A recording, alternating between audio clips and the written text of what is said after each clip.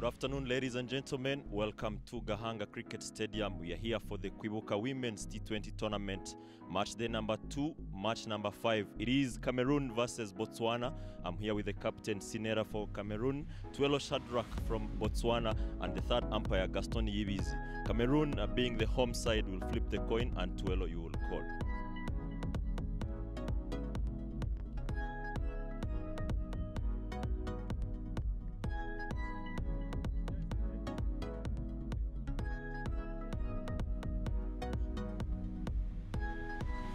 Tell us the call. Until it is, Tuelo, please come close. This way. Congratulations, you've won the toss. What are you going to do and what are the reasons behind it?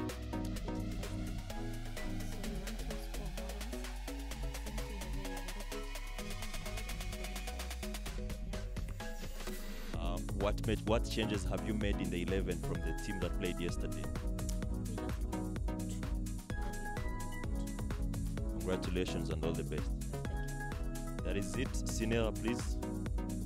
Congratulations, you're standing in as the captain today. You've lost the toss. What would you have loved to do had you won the toss? Definitely, I would have loved to take batting, but nevertheless, we're well prepared for the eventuality. Have you made any changes from the side that played yesterday? Uh, the only changes was um, the captain All the best. Thank you very much. That is it from us here at Gahanga Cricket Stadium. Uh, Botswana has won the toss and the uh,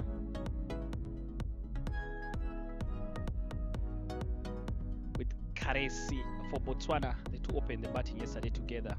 Hopefully, there are different fortunes for them in this particular game. My name is Dennis Msali, and I'm here with Katia Omahoro for the commentary for this particular clash. Katia, welcome. Thank you very much. Good afternoon. You can see one of the Cameroon players there, Shazim. Leslie to get us underway. And here we go, first ball.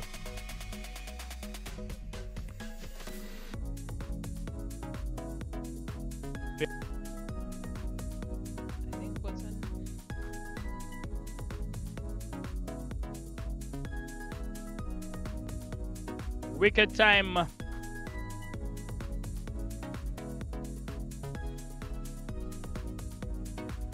down the leg side. I- I'm wondering what happened.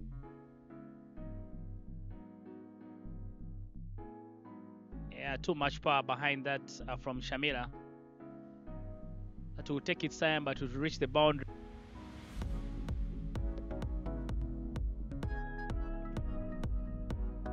Another top quality shot there from Ami- Shamila for back-to-back boundary. in overs. pitched half tracker connected to the leg side and it takes no time to reach the boundary.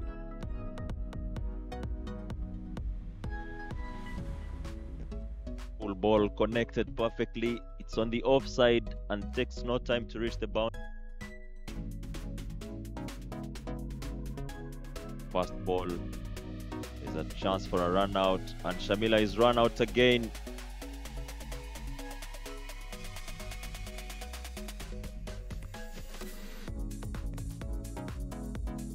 Very good shot. Misfield and it is another boundary. Paco hits it in the air. There's a chance for a catch, and Botswana loses another one. Paco. Another lofted shot in the air, and it's another wicket for Cameroon. So of the, I think she's contributed 59 runs. She came in when they were 10 for 2. Full toss swept on the leg side. Will this be another boundary? Goes up in the air. Anyone interested in it, they call for it, and finally, Well picked up there by Tuelo, and that should find the gap and race away for a boundary. A rare boundary for both. Maybe she feels that she needs to give a strike to Tuelo. Walks down the ground, Amantle.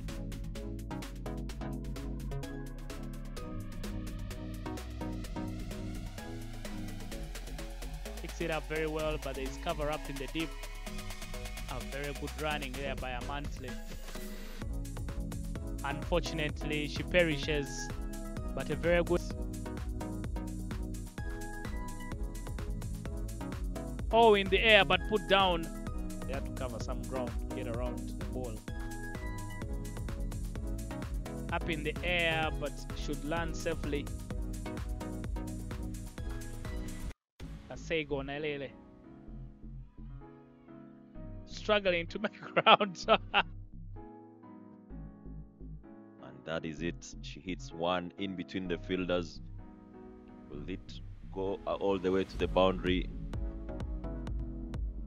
To play it with softer hands. What a catch that is. Tome comes back to ball from the pavilion end. Full ball outside of stump. Laura stumps.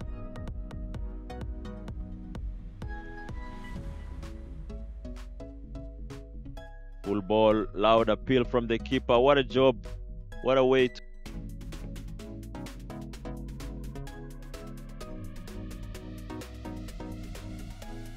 Lovely stuff, lovely scenes here. Two.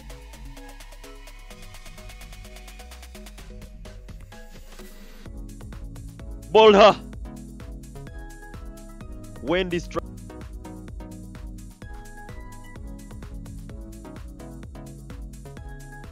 Another chance given and taken.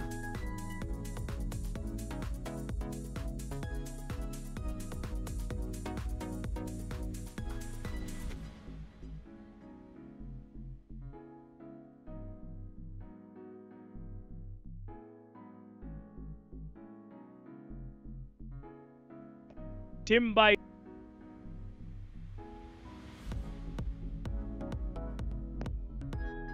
Nails that one over. I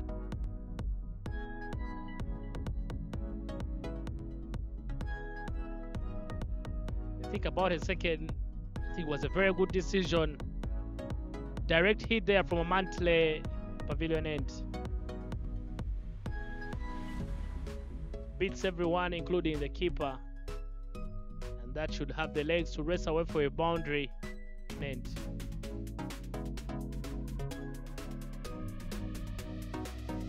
Goes up in the air, but a simple catch there taken by Orat.